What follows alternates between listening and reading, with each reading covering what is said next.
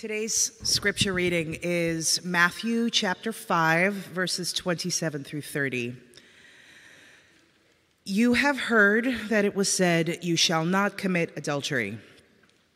But I tell you that anyone who looks at a woman lustfully has already committed adultery with her in his heart. If your right eye causes you to stumble, gouge it out and throw it away.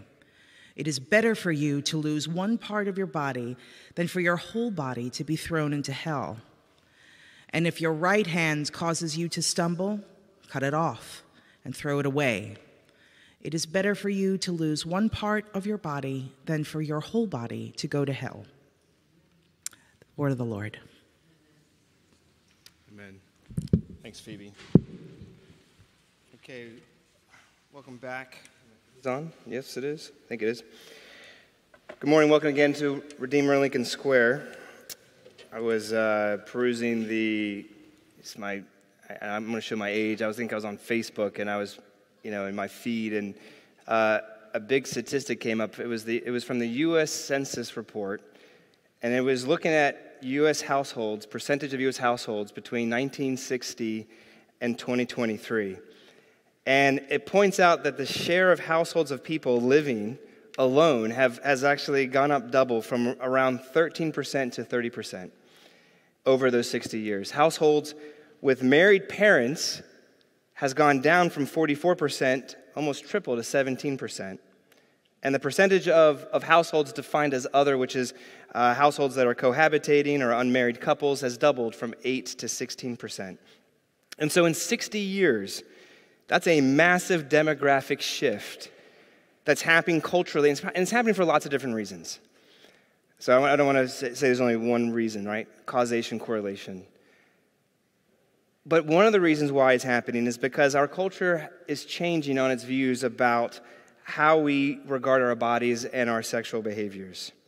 That's why we've been doing this mini series on this topic because right now there is there are competing narratives, there are competing stories of what's going to actually bring the good life for us. And I think it's valid for us to say, well, to weigh these and see what they say. That eh, there's a competing vision about what will lead to human flourishing when it comes to our bodies. And I think it's fair to us to have a, a, a discussion about it. We have only two, we have, we have this week and next week, so it's a very short mini series.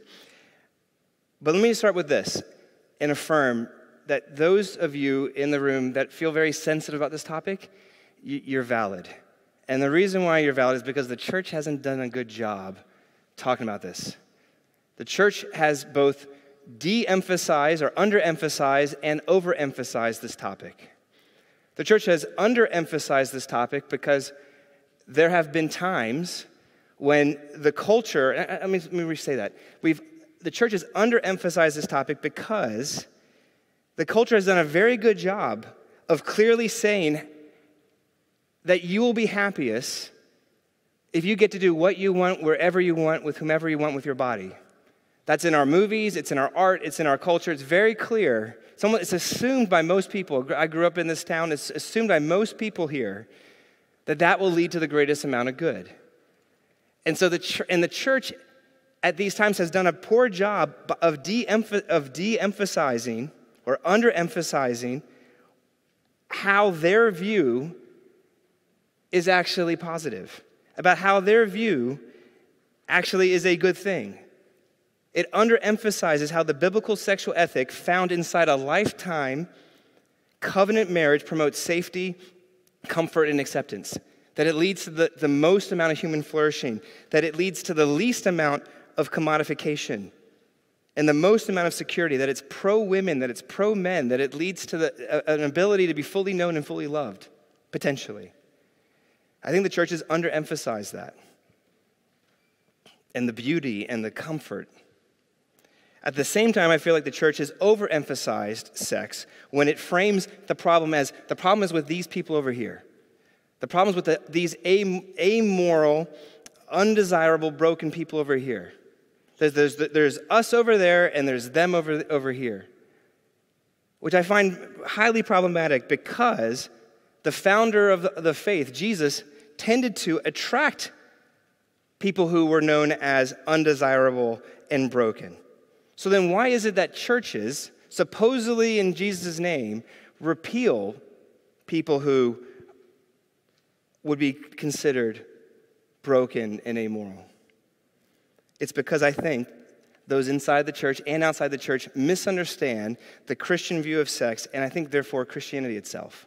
So, I want to do this morning, just for a little bit of time, is I want to look at this text that we have before us, which many people define one of the most you know, condemning and, and, and harsh phrases. And I, I would like to try to show you that it's actually a statement of freedom. I want to propose that, it's that what Jesus is offering is freedom in this text. You say, how's that possible? Well, whether you're a Christian here or not, we assume that there, we have everybody in the room. We assume that everybody, there's, that the entire uh, spectrum of belief is here, whether you're from the church or, or not from the church. Let's look at three things what's wrong with lust?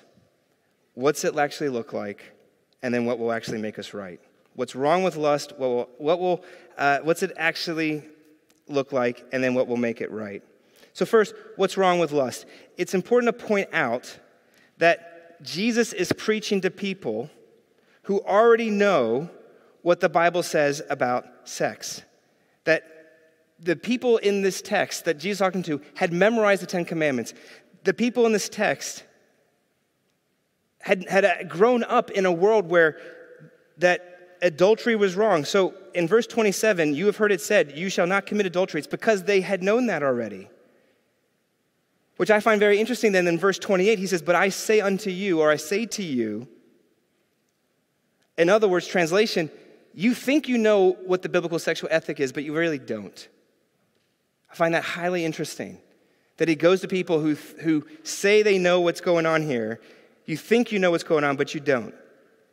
It's not just something that happens externally. See, these people grew up thinking, oh, okay, the biblical view of sex is that sex is between a man and a woman in a, in a bond of marriage, and as long as that happens, I'm good to go.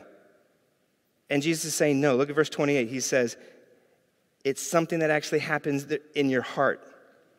I tell you, anybody who looks at a woman lustfully has already committed adultery in his heart. So let me be the first to tell you what Jesus is not saying in this text. He is not saying all sexual desires are lust. How do I know that? Well, first, he could have easily have said that. But secondly, I know that because if you read the rest of the Bible, read Proverbs, read the Song of Solomon, what you will find there are extremely sex positive depictions of relationship between a husband and a wife.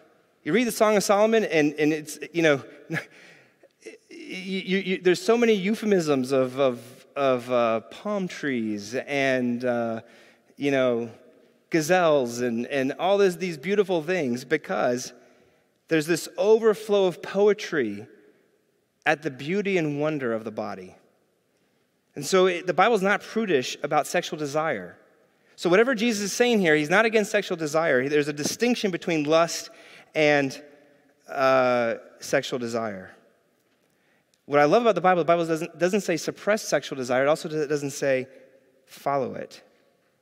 If you go to our text again, and it says, You should not look at a woman lustfully. The word look in the Greek, the tense, the grammar, it's a present active participle. And for those grammar people, what that means is that this is not a glancing look. This is a present, ongoing, continuous look. So this is not a, like a, hey, you're walking down the street and you know you can't help but see something. This is where your gaze stays. And it has the context, it's associated with a, with a greedy, inordinate desire. So I want to parse that out.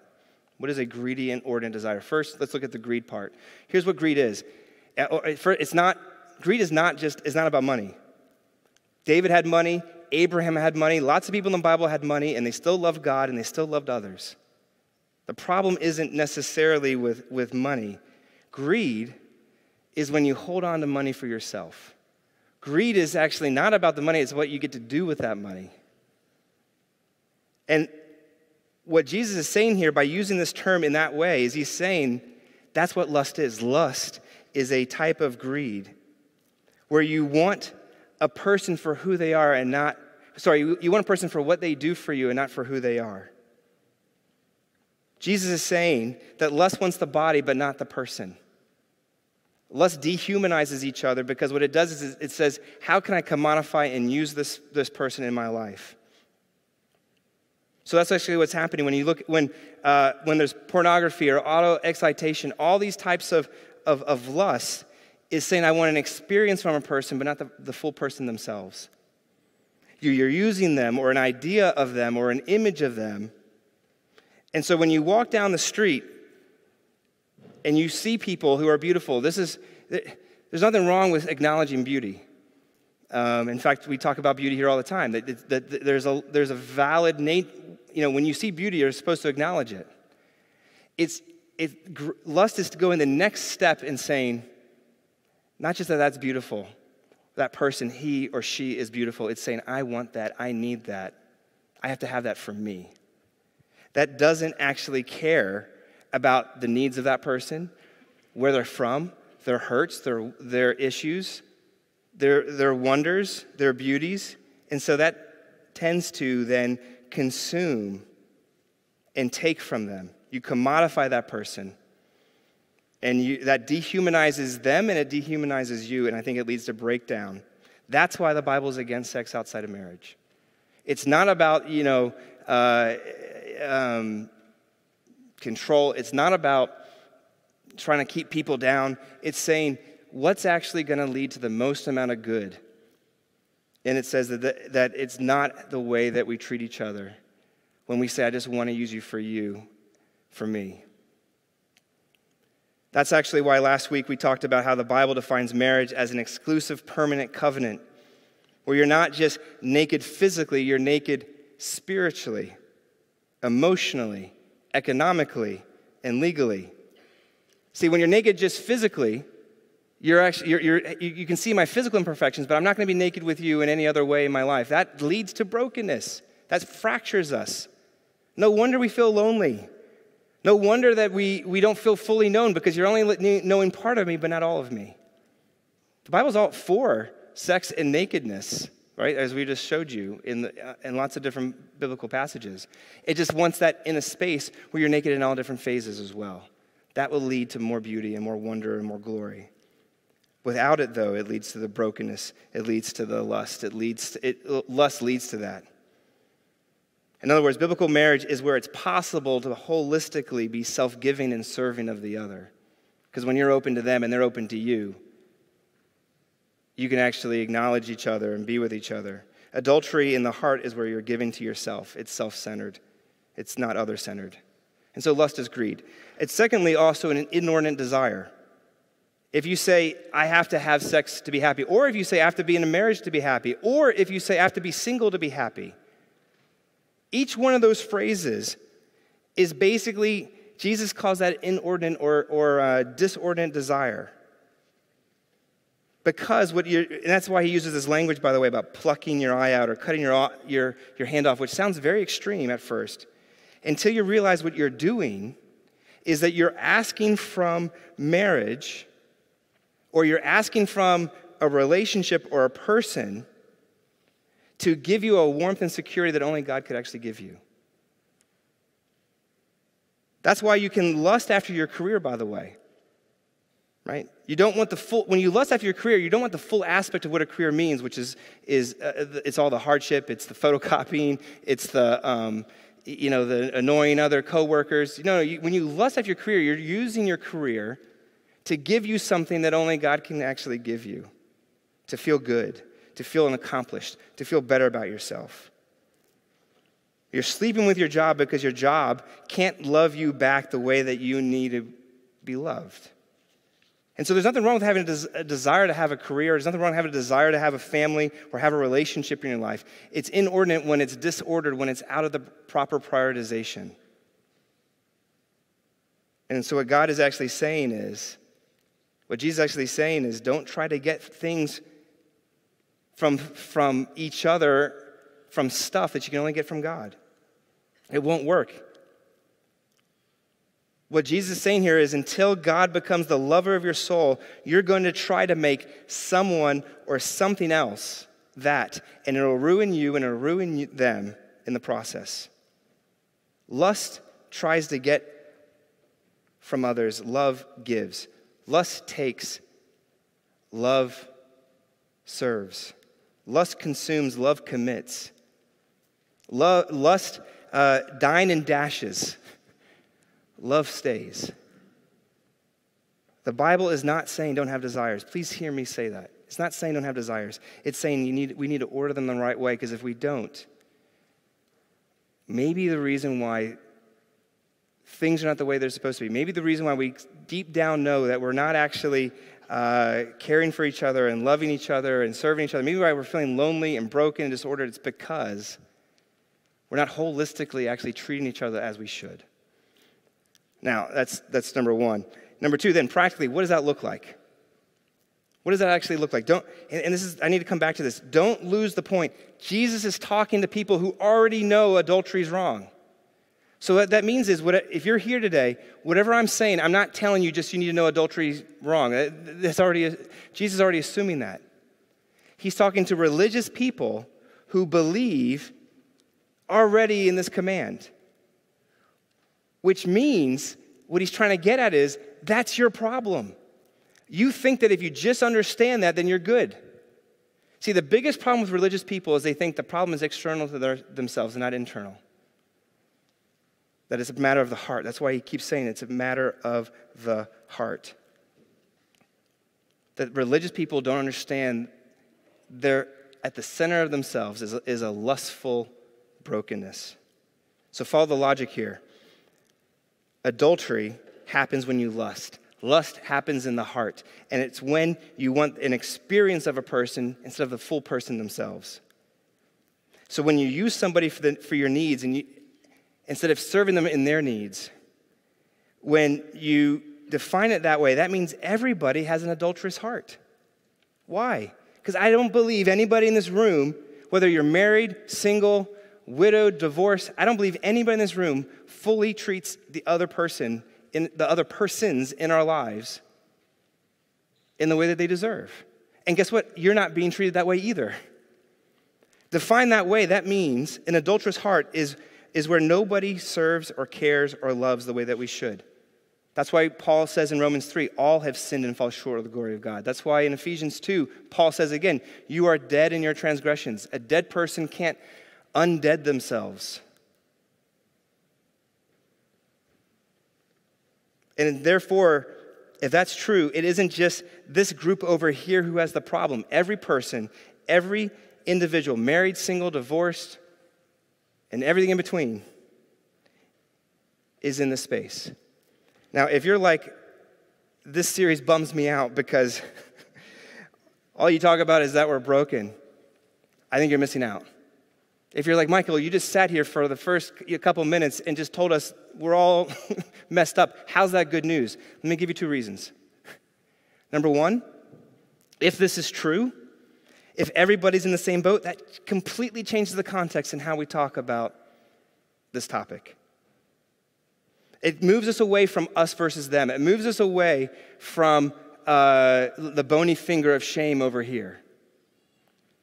It moves us into let's join the club.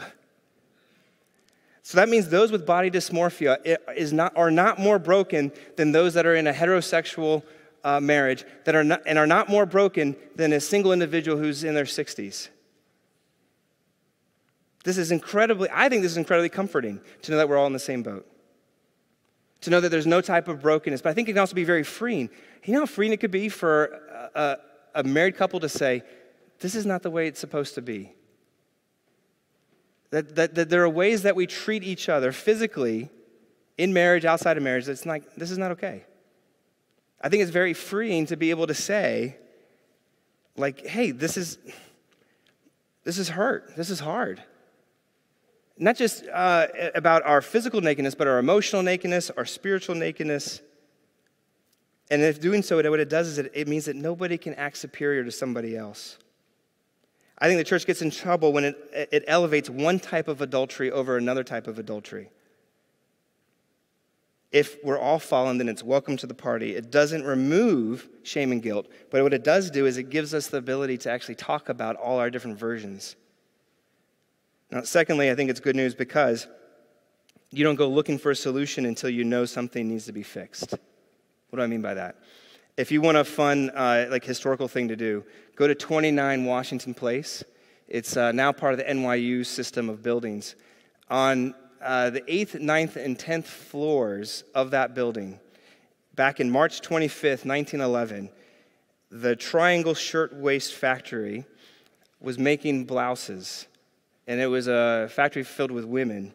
But on March 25th, 1911, what most people think was a, discarded cigarette or maybe a, uh, a match. It ignited fabric and tissue paper, and it killed 146 women. Most of them were behind locked doors. Most of them were in poorly um, ventilated spaces. Most of them were um, in, in, in terrible working conditions. It was only after this terrible tragedy that key labor and safety regulations not they had them before but they actually started getting enforced and they started being regulated. People started installing sprinkler systems and fire alarms. My point is this is that only after a fire did people actually want to change. Until we see the raging fire in our lives until we see the problems with how we handle intimacy and singleness and marriedness and lust and needs and desires until we see that the way our culture goes about this, the way I go about this, is not actually healthy, we're not going to start looking for solutions. You would think that if no marriage, if no, no relationship, no lover, no sex relationship can bring bliss or comfort and security that I need, you would think that we would start looking somewhere else other than to each other. But that's what we need to get to. We need to get to that space and so, whether you're a Christian or not a Christian, I think, we can, I, I think it's fair to be able to say the way we go about relating to each other, it's not healthy. And I put my, we have to put ourselves all in that same boat. All right, last point then. Fine. Thanks a lot, Mike. What's the solution? Where do we go from here? Right? If lust consumes, if it uses us, if, if it commodifies, what will actually fix us? Well, Jesus, when he talks about sex and marriage in the Bible often uses a, uh, an image. And that image is that of a bridegroom. He, he relates himself as a bridegroom. And that's important because if you take one of the top three images of the Bible of how God wants to relate to his people, is he wants to relate as a bridegroom relates to his bride. That means that that's the relation God wants with us. You shouldn't want to relate to somebody physically unless you want to also relate to them personally on every level because only when you not just see somebody physically naked, but you see all their other nakedness, all their other foibles and vulnerabilities and issues, and you stay, that's when that person can feel fully known and fully loved. And so when Jesus calls himself the bridegroom, he's making a promise to us. He is saying, there's only one person who can fully accept you and love you and serve you because there's only one person who can know you to your core, know all your issues, see you better than you see yourself, and say, I'm still, I'm still in. I still want to stay. I still want to be here for you. I still want to love you and accept you. Only He, therefore, can give you the love and acceptance that you ultimately need. Jesus is saying this. He's saying, Yes, I've come to fight the powers of sin and death. Yes, I've paid your ransom. Yes, I've, cast, I've been cast out so that you can be brought in.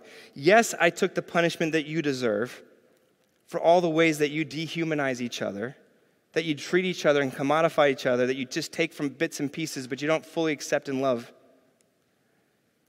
And that means he's, he fights the powers, he pays the price, he bears the exile, he uh, takes the punishment which is why we talk about him as a king and savior. But guess what? It, until you believe the gospel, he, can never, he cannot be the lover of your life. And the reason why that's important is because to the degree that he actually is the lover of, of your life, will you be able to love the other loves of your life well? I'm all for people loving people. I'm all for people caring and, serving.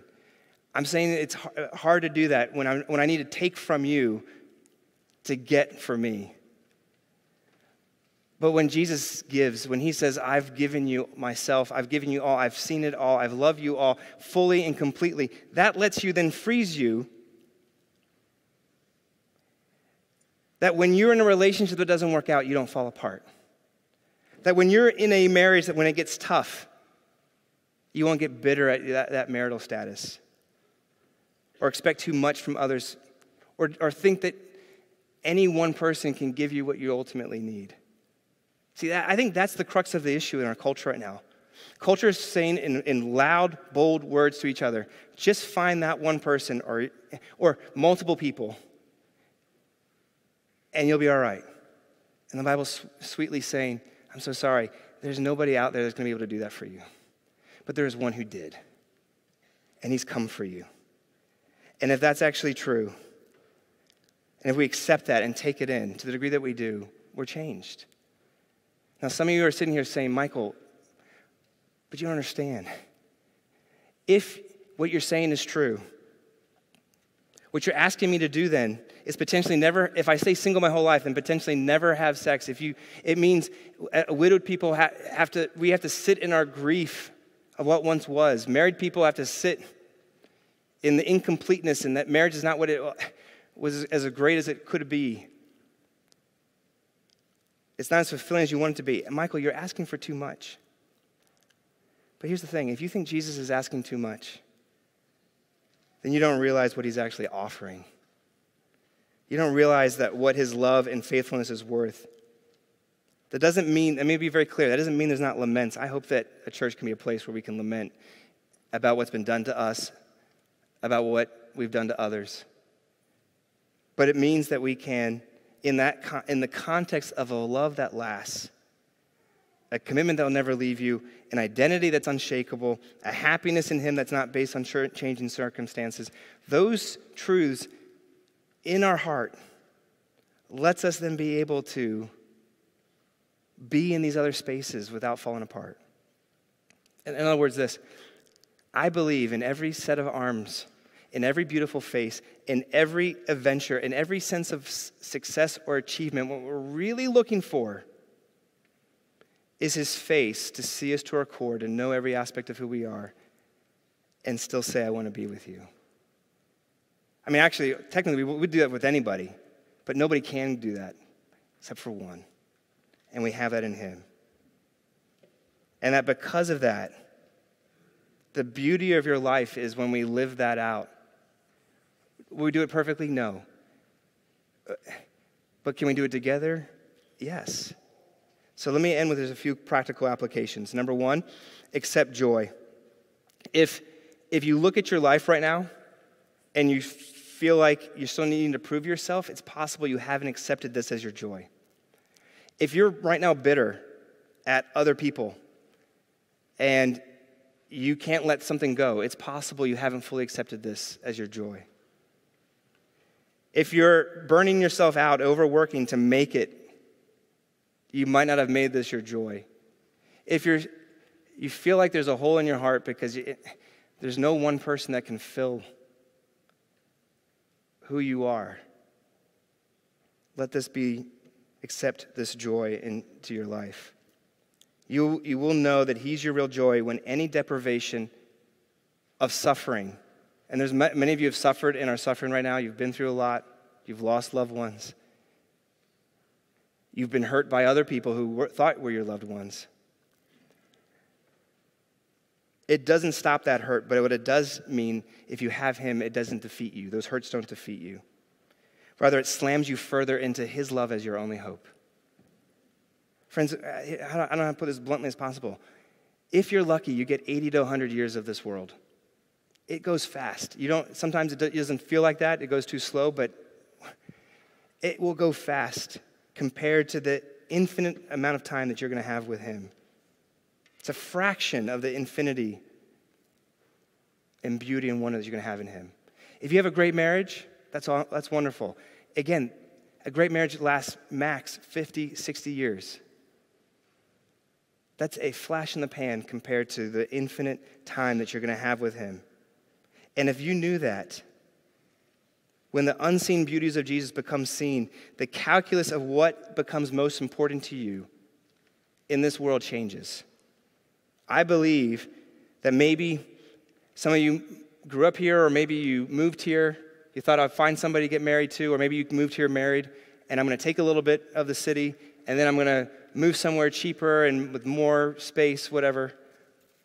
If Jesus is your beauty, if his love is now your if his love for you is now your love for him, I believe that it will actually change how we make decisions and how where we stay and where we go and who we get married to. I believe it's possible his beauty and joy changes this plan where you don't need other beauties and joy to the same degree. Do you guys see the resources in that? If, if you're not a Christian and you want freedom here, what's more free, freeing than realizing that this is the source of true contentment? That if Jesus now is our greatest joy and, and Jesus' love people the most, the more you gaze on him, the more you're going to be able to love and serve other people. I think secular culture thinks that if you gaze on Jesus too much, it takes you out of the world. I disagree. The more you gaze at Jesus, the more you find his love enthralling and enthralling it to you, the more you're going to move out in the world and serve and love because you're going to share. You're going to be free to. You're not going to be so full of navel gazing because you're going to be gazing at him and gazing out at others. I think that's what's beautiful.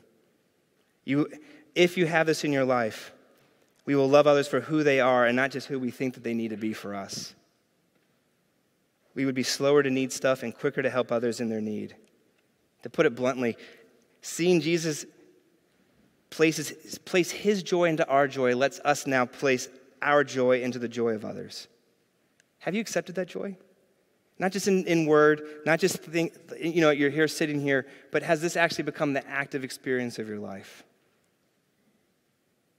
Last application accept his love for you. And the way you do that is you make him, the, make him the center of your life. That means don't just sprinkle a little bit of Jesus here and there. When this becomes the driving force of your life, the grounds by which we're known and loved, that then lets us be able to love. And, and it puts the loves of other in the proper place. So if you're a single person and you desire to be married, I think that's a good desire. But you know what? knowing and experiencing his love and grace for you will keep you from over needing somebody else's love or needing to use somebody else to feel love or linking yourself to somebody who doesn't have him as their love. You can get married to somebody who's not your ideal. How many people, it's always hard, by the way, when I meet with folks and people are, are, are I'm like, hey, who's your ideal? And they tell me their ideal. I'm like, there's less than 1% chance you're ever going to find that person. Jesus as the center of your heart means you, marriage isn't looking for somebody to find to, that's going to be perfect and, and ideal. I think that's actually lust. Lust is looking for a person for looks and for money, for what you can do with them. But if Jesus is the only perfect lover of your soul, then find somebody else who Jesus is the love of their soul. And then you get excited for what Jesus is doing in their, their life, and they might get excited about what Jesus might do in your life. And that's marriage pushing and pulling each other towards the cross. You will always be unhappily unmarried or unhappily married if you're asking for the marriage what it can't give you. So, the last thing to say for those who, if you are married, and there's the ups and downs of marriage, knowing Jesus is the true love of your soul lets you not need more from the marriage than what it can give you. And it gives you space to say, let's work on this. When you have confidence in Him, you can have confidence that you're always worried about working on something because it means you're going to have to work on yourself, they're going to have to work on themselves. It takes a lot of effort. But you can say, I'm not feeling the love from you, and I'm not sure you're really feeling it from me. But we have it from Him, and so let's do this together. That's what I mean by how this is a beautiful possibility if we let it. Let the love of Jesus, the true love of your soul, move deeper into your life, and it will change everything. Let's pray. Heavenly Father, this is a hard topic. It's, it's hard because there's so much hurt. The church has done hurt in this space. They've, we, I should not say they, we haven't articulated well the beauty and wonder possible that's found in a, in a, in a fully open, naked in all possibility space. And part of the problem is, is that we, we assume the problem's out there, the, the problem's over here. Father, the problem's in our own hearts, where we've all done it and are still doing it. When we freely admit that, I think that changes the conversation. I pray that we will in this, in this space. But help us to receive your grace. You're not, uh, you do not unknow, you don't, you're not in the dark about our issues. You see us and say, I've spent my entire life to get close to you. you you've waited through eternity to come and live and die for us.